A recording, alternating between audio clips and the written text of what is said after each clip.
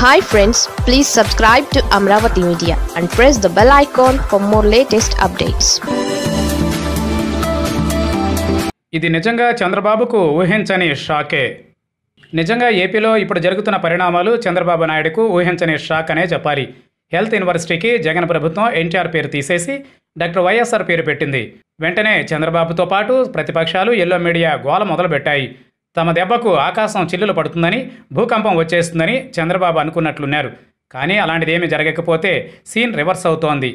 జగన్కు వ్యతిరేకంగా పార్టీ నేతలు శ్రేణులతో పాటు మామూలు జనాలను బాగా రెచ్చగొట్టేందుకు చంద్రబాబు టీడీపీ అనుకూల మీడియా ప్రయత్నాలు బాగానే చేసినా అది సాధ్యం కాలేదు. పార్టీ నేతలు ఏదో మొక్కుబడిగా స్పందించారు కానీ మామూలు జనాలైతే అసలు పట్టించుకునే లేదు. యూనివర్సిటీ పేరు మార్పునకు తమకు అసలు ఎలాంటి సంబంధం లేదన్నట్లుగానే జనాలు వ్యవహరిస్తున్నారు. కారణం ఏంటంటే ఇప్పటి తరానికి ఎన్టీఆర్ పెద్దగా పరిచయం లేకపోవడమే. ఇప్పటి తరానికి ఎన్టీఆర్ అంటే జూనియర్ ఎన్టీఆర్ఏ గూగుల్ సెర్చ్లో ఎన్టీఆర్ అని టైప్ చేస్తే ఎక్కువగా కనిపించేది జూనియర్ ఎన్టీఆర్ ఫోటోలు మాత్రమే. కాబట్టి టీడీపీ వ్యవస్థాపకుడు ఎన్టీఆర్కు అప్పుడు ఏం జరిగింది? ఇప్పుడు జరుగుతున్న అన్యాయం ఏమిటనే విషయాలపై పెద్దగా అవగాహన లేదు. చాలామందికి తెలిసిందేమంటే దివంగత ముఖ్యమంత్రి వైఎస్ఆర్ ప్రవేశపెట్టిన పథకాలకు రెండు వేల పద్నాలుగు పంతొమ్మిది మధ్యకాలంలో చంద్రబాబు ప్రభుత్వం ఎన్టీఆర్ పేరు పెట్టడమే. అప్పుడు చంద్రబాబు చేసిన పనినే ఇప్పుడు జగన్ చేస్తున్నాడు కదా అని జనాలు పట్టించుకోవడం లేదు.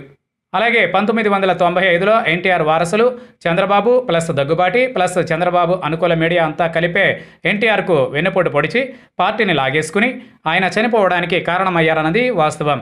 అయితే అప్పట్లో కూడా జనాలు ఆ ఎపిసోడ్ను పట్టించుకోలేదు. అదేదో పార్టీ లేదా కుటుంబ వ్యవహారంగా అనుకున్నారు. సంతానం ప్లస్ కుటుంబ సభ్యులు కలిసి ఎన్టీఆర్కు తీరని అన్యాయం అవమానం చేసినప్పుడు ఇక మిగిలిన వాళ్ళకు ఎన్టీఆర్ అంటే అభిమానం ఎందుకు ఉండాలనే చర్చ నడుస్తోంది. ఈ కారణంతోనే ఎన్టీఆర్ పేరు మార్చిన వివాదమంతా కేవలం మీడియా సోషల్ మీడియాకు మాత్రమే పరిమితమైపోయింది.